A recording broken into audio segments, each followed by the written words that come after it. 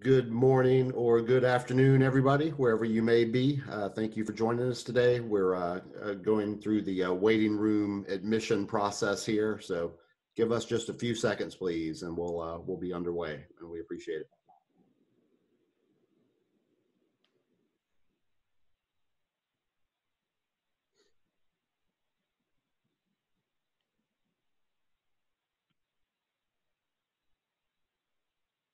All right. Well, we uh, I think we have a good number of you admitted now, so we're going to get underway with uh, today's webinar. Uh, hey to everybody. I'm Ryan Carroll. I'm the Vice President of Government Affairs for the Hearth Patio and Barbecue Association. Joined today by John Crouch, our Director of Public Affairs, and Rachel Feinstein, our Senior Manager of Government Affairs. Uh, we're going to walk you through a session today, uh, which we have entitled Preparing Written Comments on EPA's Sell Through proposal. Uh, what are we going to be covering for you today? Um, we're going to go over a little bit of the history and the background of the NSPS. Uh, we're going to talk to you about what has recently been proposed by the Environmental Protection Agency on sell through. Uh, we're going to speak with you about the topics uh, on which EPA is seeking comment and the uh, the topics on which we uh, we suggest that you comment if you were going to submit comments uh, we will discuss a, a preferred format uh, on these uh, written submissions, how to submit those uh, comments, and then we'll leave, uh, we think, plenty of time on the back end for questions and answers. Uh, those will be submitted through the, the, the, chat webinar feature at the bottom, and we will answer all of the questions that we're able to. and if you have any questions post webinar, we're happy to, to field those as well.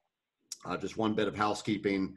Uh, the attendees, the, the non-staff participants here are muted on the webinar. Uh, and so again, click that chat icon at the bottom of your screen uh, and that will enable you to send us a question and uh, through the magic of modern day technology, we'll, uh, we'll pass that back and forth and, and be able to answer your questions. So with that, we'll get underway.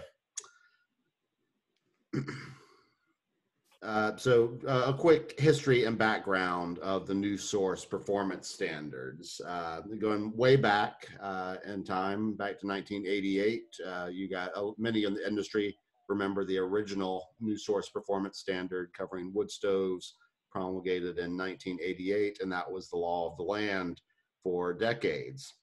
under the Clean Air Act, EPA is supposed to revisit, if not revise, the new source performance standards every eight years. And obviously, eight years came and went uh, after the, the 1988 proposal. But eventually, uh, EPA did have a, a, new proposal that they published in 2014.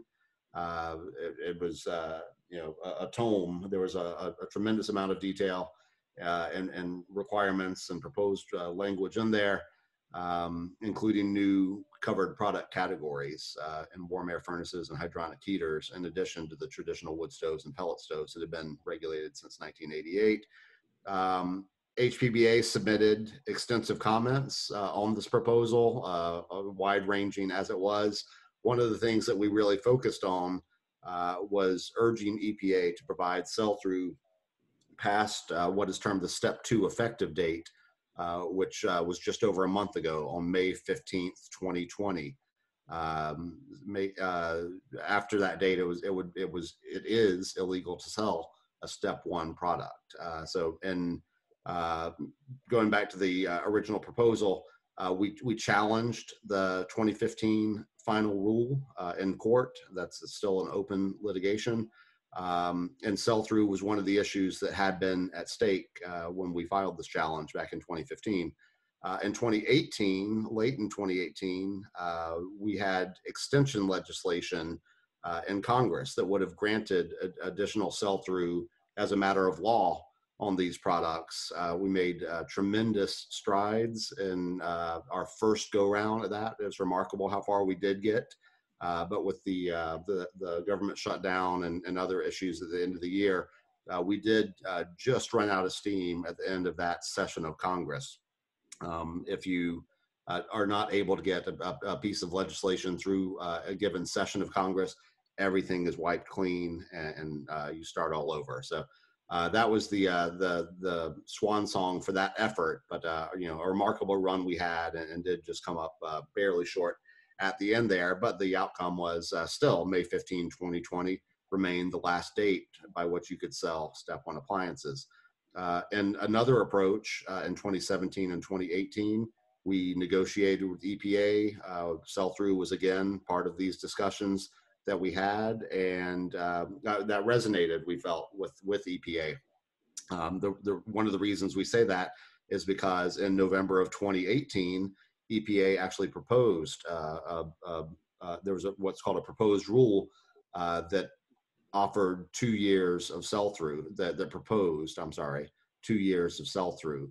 Uh, HPBA and our members commented on this. Uh, we provided uh, insights and, and reasonings uh, why that uh, two-year sell-through period was warranted, needed, and justified.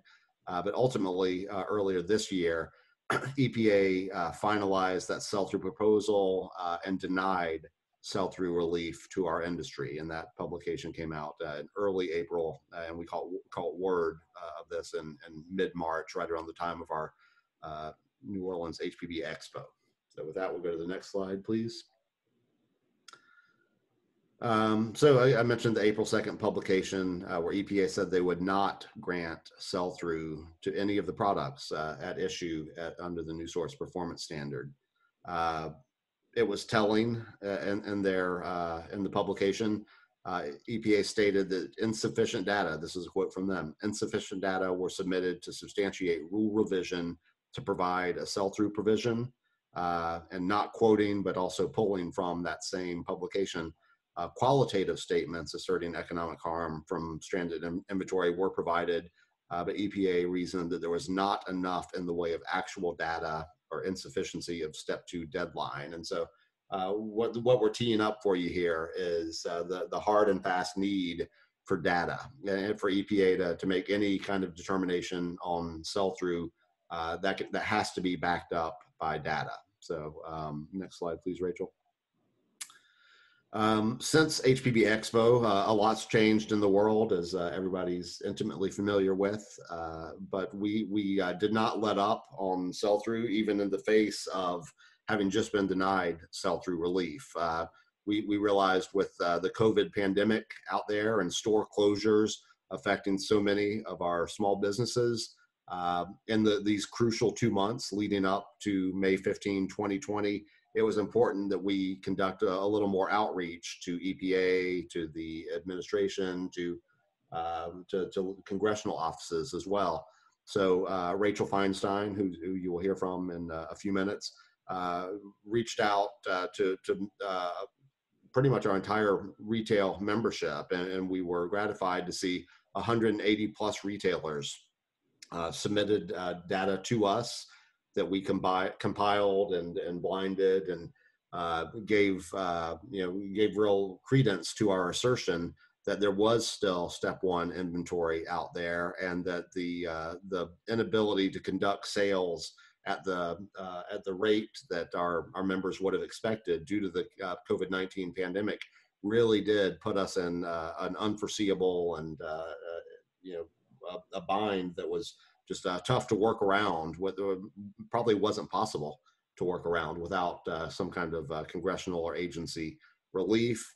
Um, and so, uh, as uh, a follow up to that letter to Congress that we sent on April 24th of this year, our president and CEO, Jack Goldman, submitted a letter to EPA identifying the, the very real and very urgent need to reconsider sell through uh, in the context of lost uh, commerce due to COVID 19 efforts.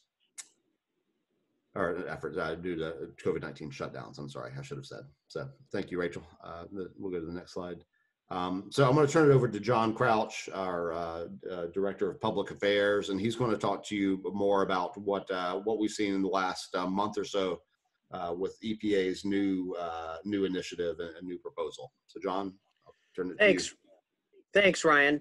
As Ryan indicated, EPA has now proposed a new sell-through opportunity for both room heaters, which are in a section called AAA, uh, AAA and Quad Q or central uh, uh, heaters, both warm air furnaces and hydronic heaters, at retail, and it would end on or before November 30th, 2020.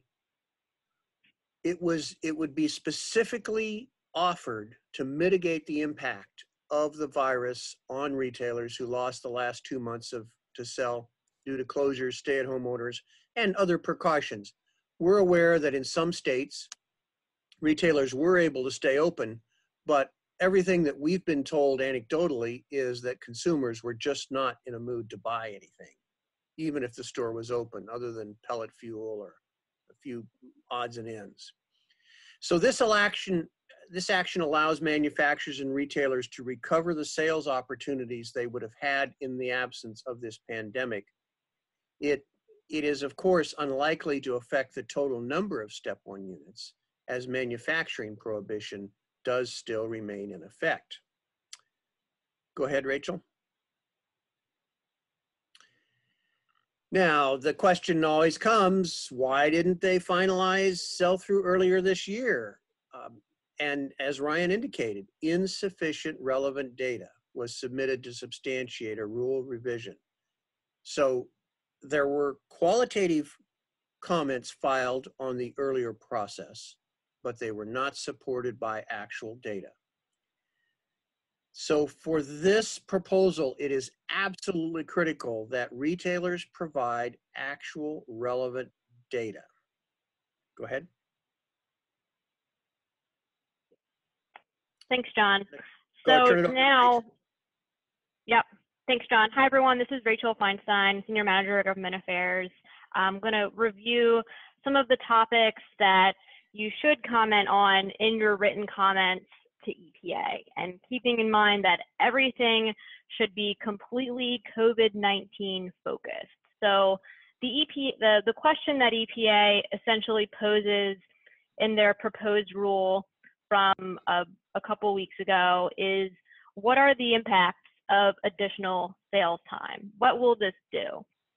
So in your comments, it's important that you provide quantifiable data. So that's number of step one units in your possession, the market value of those units. What were your sales in 2019 between March 15th and May 15th for solid fuel burning hearth products? If you have it, what were your sales numbers for wooden pellet stoves, inserts, whatever is EPA certified for step one? what were those sales for previous years between March 15th and May 15th of each of those years and compare it to 2020 sales numbers from this year. Essentially, your your comments need to tell a story using data of how this was an abnormal year with the COVID-19 mitigation efforts impact and just people being afraid to leave their homes. Um, we've this is just a, a baseline of information that we encourage you to provide. You can include in your comment um, whether like what models you specifically have, um, what your employee numbers are in your store, what jobs might be at, what number of jobs might be at risk if you aren't able to get sell through, et cetera. Um, here's a suggested format, and we can send around this template to webinar attendees after this call. Um, we, I've, I've, had a question from a, well, at least one retailer asking, can I respond to some of the things that were said during the public hearing? And I urge you not to respond to anything you've heard during the public hearing or said in passing by other organizations uh, you should focus on your message. During HPBA's Government Affairs Academy, uh, we talk a lot about sticking to your bases, and no matter what anyone says, always find a way to come back to your bases if you're in a doing an interview or something like that. With written comments, stay focused on these messages of how many step one products you have in your inventory, um, what the dollar amount is uh, focus on any sales, promotions, advertising costs, discounts, and other efforts to sell products that were disrupted by the pandemic. Again, keep it all COVID-19 related. Don't talk about, oh, well, well, last year we we tried this, didn't like focus completely on this year. Um, definitely say how many products you had last year to show that you've been making an effort to sell products and you're at the point where we've just run out of time and need that additional sell through time. And then closing out your comments with additional sell through time, we will be able to sell our remaining inventory. Uh, we and we'll go over in the next slides how to submit the written comments on EPA's website. Also want to say that you should put the your your comments on your company letterhead or at least make it look somewhat official. If you're hesitant to reveal your your exact address, you don't need to provide that. All, we encourage you to provide your city and state, just so EPA has a sense of of what state you're located in. So, you know, a sense of regional distribution of where there are where people need this sell through. EPA has said in the proposed rule that they consider this a low enforcement priority. So you don't need to worry about federal EPA agency um, representative coming to your store looking for your step one stoves that you say that you have. As long as you aren't selling them illegally, you have nothing to worry about. So without these written comments, EPA will not provide sell through. This is literally the very last opportunity to ever get sell through. So if you want it and need it, you must submit written comments. And we've done our best to provide you with the tools you need to, to do that effectively. So with that on how to submit comments, and before I do that, John or Ryan, is there anything else you wanted to mention on what should be in the written comments? Rachel, this is John. I did want to mention that um, as I read the slide, I realized that we hadn't indicated when sell-through might start. The proposal makes clear when sell-through would end, but sell-through would start when the EPA finalizes its, its proposal, which may give us two months, may give us a little more. They're going to take a while to digest these comments and, and uh, go final. So if we get sell through, the anticipation is that it would be approximately two months in the season. So it'll be a chance to really clean this inventory out. But again, as we've all said, only if they get data. Exactly. Thanks, John. So how to submit comments. So comments are due, and EPA says this in their proposed rule, that comments are due by 11.59 p.m. Eastern Time on July 6th. There's the link to where you can find the docket on regulations.gov. And at the top of that page, you'll see a little button that says comment. So you'll click that and you'll be brought to a second page and they'll ask you to start typing a comment here. We do not recommend that you copy and paste your comments into that field. We recommend that you just write please find attached my comments. And no need to say anything more than that. They can pull your name and your organization name from your comment letter attachment. And always, always attach a PDF file, not a Word document file. So then you'll scroll down, you'll attach your, your comments. If you have attachments or anything, you can attach up to 20 files with one comment submission. Enter your email address so you receive a receipt saying that your comments have been received. And be sure to check that box at the bottom that says opt to receive email confirmation of submission and tracking number.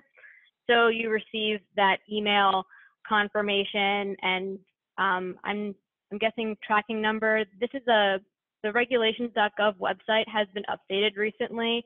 So I'm not sure what additional ability commenters have on tracking the their comment at whether they can see it's been submitted, it's been accepted, it's been reviewed, etc. Um, that might be a new feature. So be sure to check that box. And you'll see there uh, the website says we never post on regulations.gov or share your email with anyone else. So you can rest assured they're not sharing that with other people. Only your comments will be public. And then they ask you to identify as an individual, an organization, or anonymous. We encourage you to select organization if you're commenting on behalf of your company. Otherwise, select individual. We do not recommend that you select anonymous because then it's impossible for EPA or or the public to to tell if um, if you're a retailer, like what your what makes you a valid expert on this topic and why they should take your comments seriously. And if you're attaching a, a, a document with your letterhead on it, it's not exactly going to be anonymous, but we do not recommend that you anonymize your comments. We recommend that you make it known who you are to show that you are an affected entity and have expertise on this subject.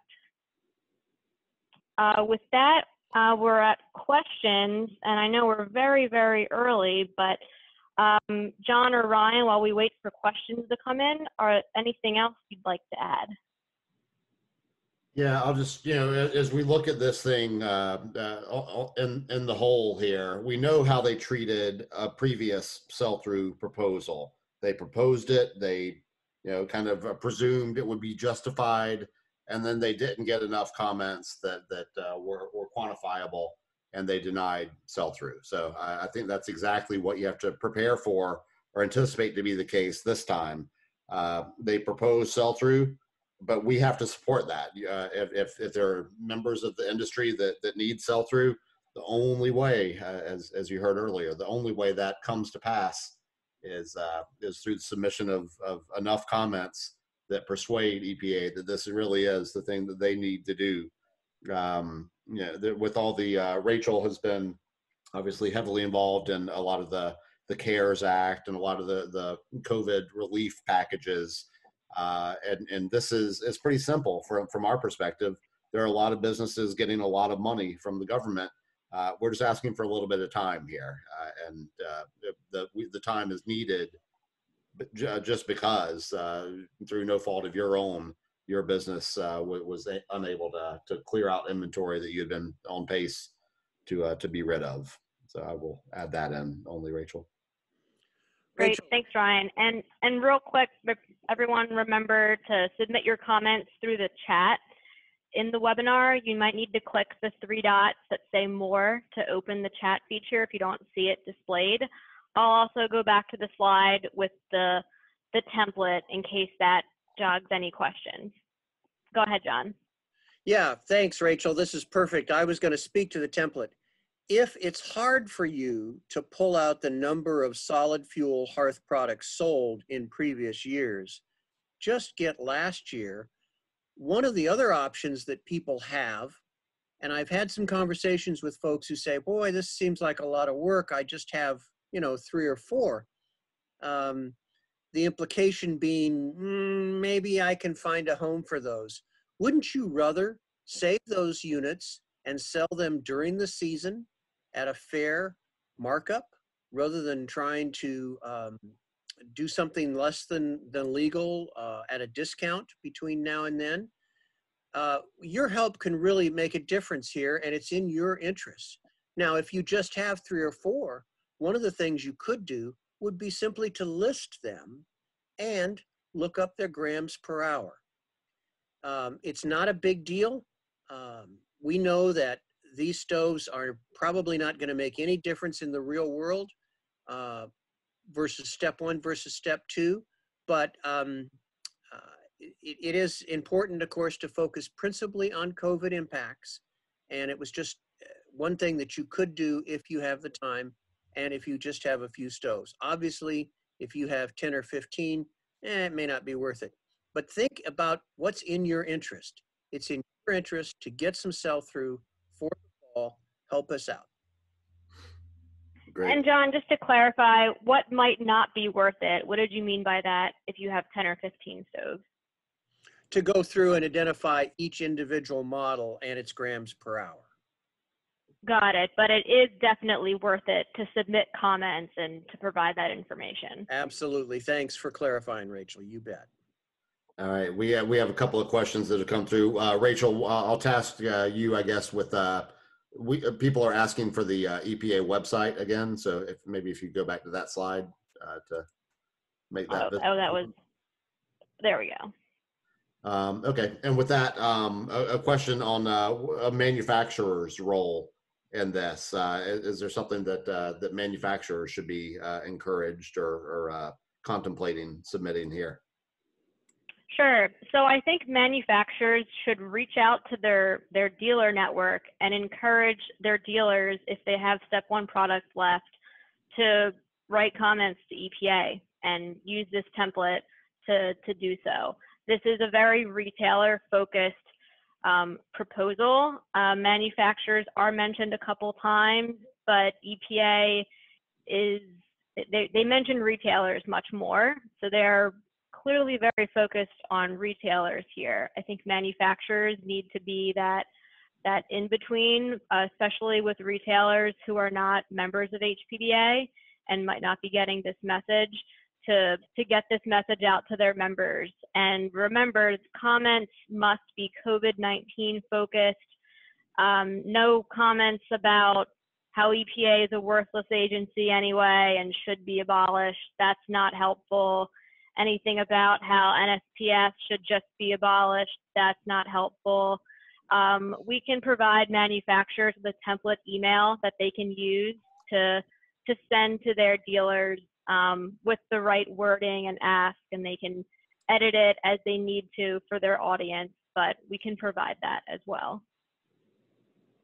Good deal. Um, uh, we, we are also receiving a handful of questions about uh, the slide deck uh, availability. Uh, we can send this out to everybody that is registered uh, for, for the webinar. We're happy to do that. We're also recording this and we're going to make that available as, as well. So slides and uh, the, the webinar itself will be made available to you guys.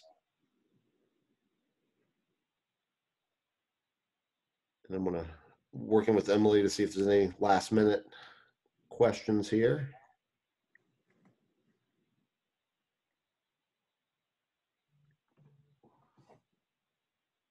Um, and I just got the uh, indication that the, that's all the questions that have come in for us at this point. So uh, we're at about the 30 minute mark. Uh, we will uh, sign off uh, uh, with that.